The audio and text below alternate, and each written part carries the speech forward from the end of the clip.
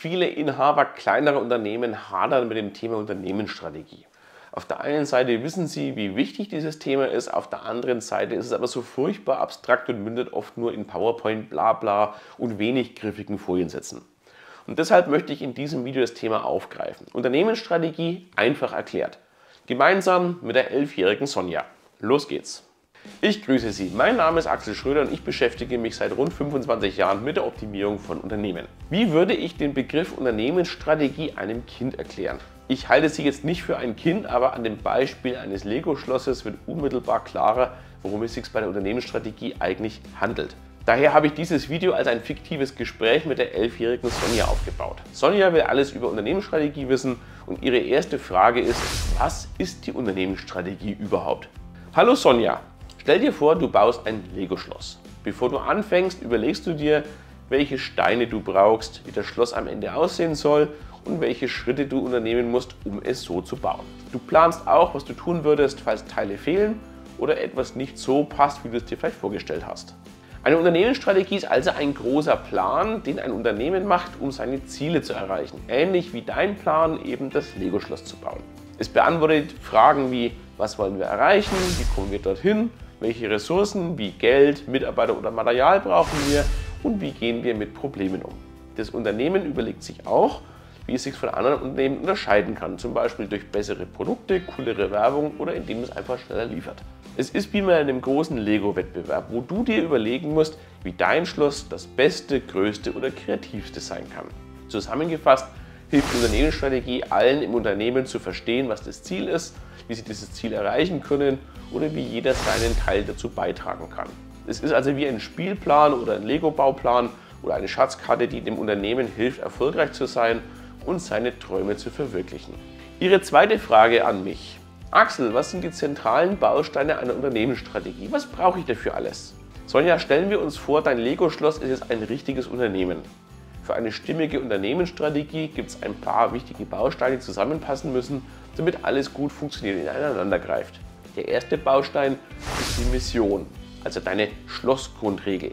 Die Mission sagt uns, warum dein Schloss oder eben dein Unternehmen überhaupt existiert. Es ist wie eine Grundregel, die erklärt, was du mit deinem Schloss erreichen möchtest. Zum Beispiel, mein Schloss soll das sicherste Ort für alle meine Lego-Figuren sein, damit sie von den schwarzen Rittern nicht mehr überfallen werden. Und wenn dich interessiert, wie man eine gute Mission formuliert, dann schau dir doch mal dieses Video an. Da ich das ganz genau mit erklärt, wie man eine gute Vision für ein Unternehmen formulieren kann. Der zweite Baustein ist die Vision. Das ist dein Traumschloss. Die Vision ist dein großer Traum für die Zukunft. Also wo willst du mit deinem Schloss in ein paar Jahren stehen? Vielleicht träumst du davon, das größte und schönste Schloss im ganzen Land zu haben, wo alle Lego-Figuren gerne hinziehen möchten oder damit sie einen sicheren Schutz vor den schwarzen Rittern bietet, weil sie es eben die dicksten und höchsten Mauern haben. Bei der Vision geht es darum, ein großes Ziel für die Zukunft festzulegen, was sich verändern wird, wenn du eine tolle Arbeit geleistet hast. Und auch für die Vision, und die wirklich gut in Worte fassen kann, habe ich hier dazu ein Video erstellt. Schau es dir doch mal an, wenn du es genau wissen willst, dann wie man das eben macht. Der dritte Baustein sind strategische Ziele, also deine Schlosspläne. Hier legst du fest, was du in den nächsten Monaten oder Jahren erreichen möchtest. Vielleicht möchtest du eine neue Mauer bauen oder eine dickere Mauer bauen oder einen hohen Turm bauen oder einen Garten für dein Lego-Schloss anlegen. Und diese Ziele sollen dir eben helfen, deiner Vision, das größte und schönste Schloss zu bauen, Schritt für Schritt näher zu kommen.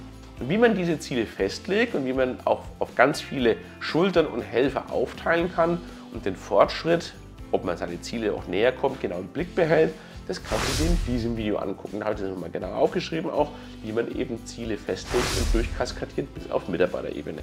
Der vierte Baustein sind strategische Initiativen, also deine Schlussprojekte. Das sind die speziellen Projekte oder Aktionen, die du eben startest, um deine Ziele zu erreichen. Wenn eins deiner Ziele zum Beispiel ist, den Garten anzulegen, könnte eine Initiative sein, Bäume und Blumen zu pflanzen. Der fünfte Baustein deiner Strategie sind Maßnahmen und Kennzahlen. Dein Schloss-Fortschrittsmesser. Damit kannst du dann überprüfen, ob du deinen Zielen näher kommst. Es ist, als würdest du zählen, wie viele neue Mauern du gebaut hast und wie viele Lego-Figuren jetzt in deinem Schloss wohnen können. Der sechste Baustein sind die Werte und Führungsprinzipien, also deine Schlossregeln. Werte sind wie die Prinzipien oder Regeln, nach denen du und deine Lego-Figuren eben in deinem Schloss leben wollen. Sie zeigen, was dir wichtig ist, wie Freundlichkeit, Ehrlichkeit oder eben Teamarbeit. ob es dabei ist einen König oder eine Königin gibt, die nur Befehle an die anderen Figuren erteilt oder ob sich alle an einen runden Tisch setzen, so wie bei der Tafelrunde von König Artus und darüber nachdenken, wie man ein bestimmtes Problem oder eine bestimmte Aufgabe am besten erledigt, ist eben genau Teil von diesen Werten und Führungsprinzipien. Der siebte Baustein in der Unternehmensstrategie sind deine Späher. Deine Späher beobachten die Umwelt und andere Lego-Schlösser. Du hast spezielle Mitarbeiter dafür oder auch Figuren, die sich ansehen, wie sich die Schlösser deiner Nachbarn entwickeln. Nutzen die vielleicht schon bestimmte Bautechniken, damit das Schloss besonders schön wird? Oder haben die vielleicht sogar den Rambock, mit dem sie dein Schloss kaputt machen könnten? Oder sind Schlösser vielleicht gar nicht mehr gefragt, sondern man baut jetzt vielleicht eine Unterwasserstadt? Das macht man in einem Unternehmen auch. Und das nennt sich dann oft SWOT-Analyse für Stärken und Schwächen, Chancen und Risiken. Und all diese Bausteine zusammen bilden die Unternehmensstrategie. Sie helfen allen im Unternehmen oder in deinem Fall eben die am Schloss mitbauen, zu wissen, was sie tun sollen, warum sie es tun und wie sie überprüfen können, ob sie dabei erfolgreich sind.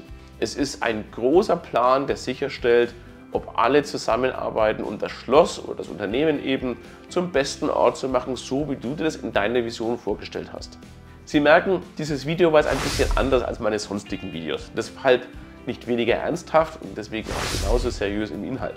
Aber wie fanden Sie es diese Art von Video mit dem fiktiven Gespräch mit der elfjährigen Sonja?